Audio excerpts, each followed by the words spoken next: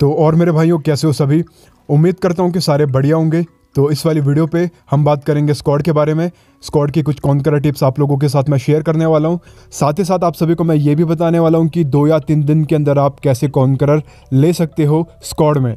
और एक और बात मैं पहले ही बता देना चाहता हूँ कि जिनको लगता है कि भाई दो या तीन दिन के अंदर कॉन्करर करना इम्पॉसिबल वाली बात है तो वो इस वाली वीडियो को छोड़कर जा सकते हैं। आप लोगों का मैं टाइम वेस्ट नहीं करना चाहता। और जो लोग रैंक पुश करने के लिए सीरियस है, और अगर आप लोगों को ये भी जानना है कि दो या तीन दिन के अंदर आपको कैसे कॉन्करर मिलेगा तो इस वाली वीडियो को लास्ट तक देखना। आपको सारी बातें समझ में आ जाएगी। बाकी लाइक कर देना वीडियो को शेयर कर देना, और सब्सक्राइब कर लेना भाई चैनल को तो वीडियो को शुरू कर लेते हैं। तो सबसे पहले मेरा सवाल सभी से ये है कि आप कौन से वाली रैंक से शुरू करने वाले हो? आपने रैंक पुश तो करना है, लेकिन कौन से रैंक से आप शुरू कर रहे हो? तो सबसे पहले ये कमेंट करके बता दो। ये मैं इसलिए पूछ रहा हूँ और इसलिए बता रहा हूँ क्योंकि ये बहुत ज़्यादा इंपॉर्टेंट है। और पहली टिप आपके लिए यही है, जितना ज़्यादा आप हाई टायर से शुरू करोगे, उतना ज़्यादा आपके लिए सही रहेगा। अब जैसे मैं आपको एक एग्जांपल देता हूँ, मान लो एक बंदा प्लेटिनम से रैंक पुश करना शुरू करता है सीज़न 19 में, और एक तरफ़ कोई बंदा है जो गोल्ड से शुरू करता है तो गोल्ड वाला जब को प्लेटिनम पहुँचेगा, तब को प्लेटिनम वाला क्राउन पहुँच जाएगा, क्योंकि स्क्वाड में बहुत ज़्यादा प्लस होता है मतलब सभी को होता है तो इतना ज़्यादा फ़र्क रहेगा। तो आप जितना ऊपर से शुरू करोगे, उतना ज़्यादा आपके लिए सही रहेगा। सेकेंड पॉइंट है टीममेट और ये बहुत ज़्यादा इंपॉर्टेंट है। आपको ये समझना पड़ेगा। मैं हमेशा आपको बोलते रहता हूँ कि टीममेट आपके पास होने चाहिए होने चाहिए। उसका रीज़न यही है कि भाई अगर आपके पास टीममेट होंगे ना तो आपका कॉन्करर काफ़ी इजी हो जाता है भाई। अगर आप रैंडम के साथ खेलोगे या फिर किसी भी बंदे को ले लोगे कि आजा भाई रैंक पुश करते हैं साथ में तो भाई नहीं हो पाएगा। मेन चीज़ होती है भाई कोऑर्डिनेशन और कोऑर्डिनेशन रैंडम के साथ तो बैठता नहीं है और ना ही किसी ऐसे बंदे के साथ बैठता है जो बस अभी अभी मिला हो। तो ऐसे टीममेट रखने की कोशिश करो जो अच्छा खेलते हो। अच्छा खेलना ही सब कुछ नहीं होता है। मेन चीज़ होती है कोऑर्डिनेशन जो आपकी बात सुने ठीक है, आपके साथ खेले तो ऐसे बंदे होने चाहिए। और मुझे पता है कि आप में से काफ़ी बंदे ऐसे होंगे जो स्क्वाड में रैंक पुश करने वाले हैं, लेकिन उनके पास टीममेट नहीं है। तो भाई देखो, आपको मैं सिंपल बोलना चाहता हूँ कि अगर आपके पास एक बंदा है तो आप डुओ पर चले जाओ। अगर कोई नहीं है तो आप सोलो पर चले जाओ। कोई ज़रूरत नहीं है, आपको स्क्वाड में ही रैंक पुश करना है। तो स्क्वाड में आपको पता है कि भाई बहुत ज़्यादा कंपटीशन है। मैं बार बार बोलता रहूँगा, बहुत मुश्किलें आएँगी भाई, सच्ची बता रहा हूँ। अगर आप रैंडम के साथ खेलोगे या सोलो भी स्क्वाड खेलोगे, और अगर आपको टीममेट चाहिए ही चाहिए तो आप इसी वीडियो के नीचे कमेंट कर सकते हो कि भाई मुझे टीममेट की ज़रूरत है, ऐसे करके। तो जिसको ज़रूरत होगी, वो आपका रिप्लाई कर देगा और आप बातचीत कर लेना और साथ में खेल लेना भाई, साथ में रैंक पुश कर लेना। लेकिन वापस से मैं बता रहा हूँ कि मतलब कोऑर्डिनेशन होना ज़रूरी है। टिप नंबर थ्री है ड्रॉप लोकेशन और ये बहुत ज़्यादा इंपॉर्टेंट है भाई। इससे आपका डिपेंड करता है कि आपका माइनस होगा या फिर आप प्लस में जाओगे। तो ये सोच लो कितना ज़्यादा इंपॉर्टेंट पॉइंट है। तो जब आप ड्रॉप लोकेशन अपना डिसाइड करते हो तो चारों बंदे मिलकर डिसाइड करना। कभी ऐसा नहीं होना चाहिए कि कन्फ्यूज़न रहे आपके मन में कि यहाँ पर जाना चाहिए या फिर यहाँ पर जाना चाहिए। और मेरे हिसाब से आप अपनी कोई ऐसी लोकेशन बना लो जहाँ पर आप हमेशा जाओ। वहाँ के बारे में आपको हर चीज़ पता रहेगी।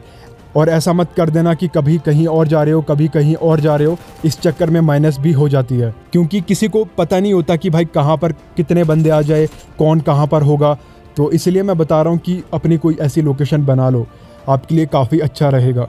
टिप नंबर फोर अपना अपना रोल सभी को पता होना चाहिए। कौन बंदा स्नाइपर है, कौन बंदा असोल्टर है, और कौन बंदा किसमें अच्छा है। तब जाकर आपका कोऑर्डिनेशन अच्छा बैठेगा और आपको हेल्प मिलेगी। और लूट में आप स्मोक ले लो ग्रेनेड ले लो, ये बहुत ज़्यादा इंपॉर्टेंट रहते हैं।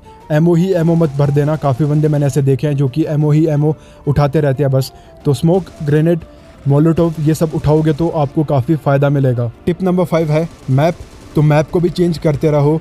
कभी आप रेंगल खेलते हो तो कभी मेरा मार भी खेलो। ये दो मैप ही आपको मैं बोलूँगा खेलने के लिए। इसके अलावा तो जो भी मैप है, वो भी अच्छे हैं, लेकिन मैं आपको बोलूँगा नहीं उनको खेलने के लिए, क्योंकि वहाँ से आपका सर्वाइवल पॉइंट काफ़ी कम मिलता है। ठीक है? तो बाकी आपकी चॉइस है कि आपको कौन सा मैप खेलना है, किस मैप को आप अच्छे से खेल पाते हो। ठीक है? वो आपके ऊपर है फिर, लेकिन मेरे हिसाब से आप एरेंगल और मेरा मार ये दो मैप है जिनको आपको खेलना चाहिए। टिप नंबर सिक्स आपका सभी का गोल होना चाहिए कि हमें टॉप टेन में जाना है। ठीक है top ten top five top three chicken यहाँ पर जाने के लिए आपको खेलना है। ऐसे नहीं कि भाई, बस हमें तो रैंक पुश करना है प्लस में जाना है, बस हो गया। भाई प्लस ही सब कुछ नहीं होता है। ठीक है, आपको प्लस लग भी जाए तो भाई, उसका कोई फ़ायदा नहीं है। आपको अच्छे से खेलना है। सर्वाइवल पॉइंट किल पॉइंट जो जो भी रेटिंग्स होती हैं, आपको अगर नहीं पता तो जाकर आप मेरी पुराने वाली वीडियो देख सकते हो, जहाँ पर मैंने आप सभी को बताया है कि आपको कौन कौन सी रेटिंग लेनी होती है तो आपका ज़्यादा प्लस मिलता है। ठीक है तो वो वाली वीडियो देख लेना। मैं बस आपको शॉर्ट में बता रहा हूँ, बस टॉप टेन टॉप फाइव यहाँ पर जाने के लिए खेलो। और एक चीज़, इसको ध्यान से सुनना। टॉप टेन वो नहीं होता है, जैसे आप चालीस अलाइव बंदों में मर गए, आपकी टीम पूरी ख़त्म हो गई तो वहाँ पर आपके लिए, आपके पास आएगा लिख कर कि आप टॉप टेन में आ गए हो। हैश टैग टेन वहाँ पर लिख कर आ जाएगा। लेकिन वो टॉप टेन नहीं होता मेरे भाई। टॉप टेन का मतलब होता है टॉप टेन अलाइव वो रियल टॉप टेन होता है। ठीक है तो आप टॉप टेन अलाइव बंदों में आने की कोशिश करो। वैसे तो आप चिकन के लिए खेलो, लेकिन कोशिश करो कि अगर आप मरते भी हो, आपकी टीम ख़त्म हो भी जाती है तो टॉप टेन अलाइव बंदों के अंदर आने के बाद आप मरो। ठीक है? वैसे मरना नहीं है चिकन के लिए खेलो। टिप नंबर सेवन ये है आपका डिवाइस अब देखो, काफ़ी बंदे बोलते हैं कि हमारे पास टू जी बी रैम है, हम जी एफ़ एक्स लगा कर खेलते हैं, क्या हमारा कौन करर हो सकता है? अब देखो, मैं रियलिटी बताऊँ ना तो बहुत टफ़ है भाई, क्योंकि स्क्वाड में वापस से बोल रहा हूँ, भाई कंपटीशन बहुत ज़्यादा है। लास्ट के सर्कल में आप सोलो खेलो डुओ खेलो, या फिर स्क्वाड में रैंक पुश करो लास्ट के सर्कल में बहुत ज़्यादा बंदे बचे होते हैं भाई। ठीक है? तो वहाँ पर आपका फ़ोन पूरा का पूरा चिपक जाएगा, आपको बहुत ज़्यादा दिक्कतें आएँगी। आप मतलब गंदे वाला मरोगे तो आपका दिमाग ख़राब होगा डिमोटिवेट हो जाओगे, छोड़ दोगे भाई खुद ही रैंक पुश करना। तो उससे बढ़िया है कि आप नॉर्मल जैसे मैचेस खेलते हो, वही खेलो, क्योंकि रैंक पुश पे आपको मतलब कंपटीशन के साथ साथ चलना होता है। ठीक है? ऐसा नहीं है कि मतलब बंदे आपसे 400 पॉइंट आगे चले गए, हज़ार पॉइंट आगे निकल गए तो फिर आपका कॉन्करर हो नहीं पाएगा। फिर वो आपके लिए एक सपना ही रह जाएगा। इसलिए भाई कंपटीशन के साथ चलना होता है तो डिवाइस आपका अगर साथ नहीं देता तो फिर आपका हो नहीं पाएगा। लास्ट के सर्कल में आपको बहुत ज़्यादा दिक्कतें आएँगी। शुरू में तो आप सेफ़ चले जाओगे, कहीं पर लूट करोगे, थोड़ा बहुत कहीं पर कैंपिंग कर लोगे, कहीं पर कैसे भी करके खुद को सेफ़ रख लोगे, लेकिन लास्ट के सर्कल में तो आपको अंदर आना पड़ेगा सर्कल के अंदर और वहाँ पर बंदे बहुत ज़्यादा बचे होंगे। कहीं पर भी हो सकते हैं और आपका फ़ोन वहाँ पर पूरा का पूरा चिपक जाएगा, आपका साथ नहीं देगा और आप वैसे ही मर जाओगे। आपका बस टाइम वेस्ट होगा कि आपने पूरा का पूरा गेम सर्वाइव किया और लास्ट में आप बस दान कर दिया खुद को। अपना किल दान कर दिया किसी एनिमी को तो फिर वो बात नहीं बनती। ऐसे करके आपका रैंक पुश नहीं हो पाता भाई। तो वैसे वीडियो काफ़ी लंबी हो रही है और हो भी चुकी है। साथ में आपको ये भी बताना है अभी कि आपको दो या तीन दिन के अंदर कैसे कौन करन मिलेगा तो वीडियो काफ़ी लंबी हो जाएगी। तो उसके लिए भाई टिप को यहीं पर ख़त्म करते हैं। बताने के लिए तो बहुत कुछ है, लेकिन वीडियो काफ़ी लंबी हो जाएगी। तो वो बताने से पहले आप लोगों से बस मेरी यही रिक्वेस्ट है कि भाई अगर आपको लगता है कि भाई ये पॉसिबल नहीं है तो आप इस वीडियो को छोड़कर जा सकते हो। पहले ही बता रहा हूँ, अगर आपको जानना है तो आप इस वीडियो को पूरा देखो। तो इसको समझाने के लिए आपको मैं ये समझा देता हूँ पहले कि आपको कॉन्करर कब मिलता है और कैसे मिलता है। तो आपको जब कॉन्करर चाहिए तो उसके लिए आपको टॉप 500 में जाना होता है, जो कि काफ़ी बंदों को पता होगा। लेकिन काफ़ी बंदे इसको गलत तरीके से ले लेते हैं और पूछते हैं कि अगर हम क्राउन पे चले गए और वहीं पर हमारा टॉप 500 लग गया तो क्या हमें कॉन्करर मिलेगा? तो नहीं मिलेगा भाई। आपको टॉप 500 जाना है एस करने के बाद। एस तो आपको करना ही करना पड़ेगा। तो ये चीज़ आप समझ लो। पहले आप एस करो, उसके बाद आपको टॉप 500 में जाना है। तो ये चीज़ आपको समझ में आ गई होगी। अब बात करते हैं कि दो या तीन दिन के अंदर आपको कैसे मिलेगा।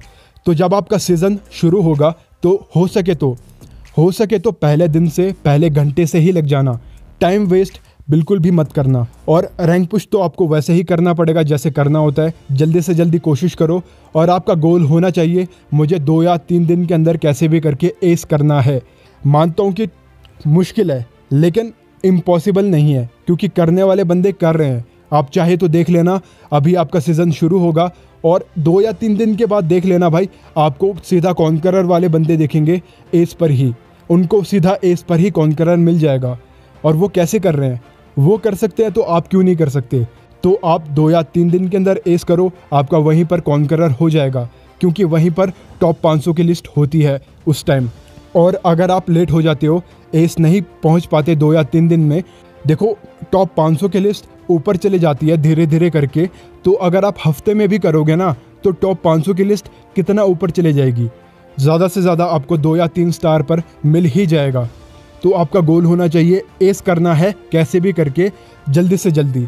तो आपको वहीं पर कॉन्करर मिल जाएगा। और अगर आप बहुत ज़्यादा लेट हो जाते हो तो समझ जाओ कि टॉप 500 की लिस्ट उतना ही ऊपर चले जाएगी। तो आपको बहुत ज़्यादा स्टार लगाने पड़ेंगे। तो आप लोगों ने देखा होगा, काफ़ी बंदे पूरा सीज़न खेलते रहते हैं और उन्होंने बहुत ज़्यादा स्टार लगाए होते हैं। उसके बावजूद भी उन्हें कॉन्करर नहीं मिलता। तो वही रीज़न होता है भाई।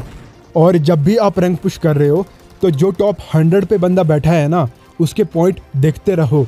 कोशिश करो कि टॉप हंड्रेड तक आपको पहुँचना है। टॉप 500 के लिए कभी मत खेलो, टॉप हंड्रेड के लिए खेलो।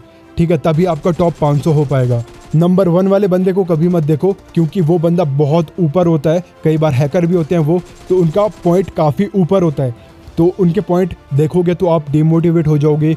वो हैकर भी होते हैं, कुछ लेजेड प्लेयर भी होते हैं। तो टॉप नंबर वन वाले बंदे को कभी मत देखो, टॉप हंड्रेड वाले बंदे को देखो। उसके पॉइंट जितने हैं, उतने करने की कोशिश करो। उसके पास आने की कोशिश करो या फिर उसको क्रॉस करने की सोचो। तभी आपका हो पाएगा टॉप 500 तभी आपका टॉप 500 लगेगा, तभी आपका कॉन्करर होगा। ठीक है, ये चीज़ आपको समझ में आ गई होगी कि आपको दो या तीन दिन के अंदर कैसे कॉन्करर मिलेगा। और भाई, मैं बिल्कुल भी मज़ाक नहीं कर रहा, ये पॉसिबल है और बंदे ऐसे ही जल्दी से जल्दी कॉन्करर करते हैं। अब बात उस पर डिपेंड करती है कि आप पहुँच पाते हो या फिर नहीं पहुँच पाते। लेकिन डिमोटिवेट मत होना, अगर आपका दो या तीन दिन के अंदर नहीं भी हो पाता तो आप कोशिश करो कि आप हफ़्ते में करो। हफ़्ते में नहीं हो पाता तो कोशिश करो कि आप दस दिन में करो। दस दिन में नहीं हो पाता तो कोशिश करो कि चौदह दिन में करो।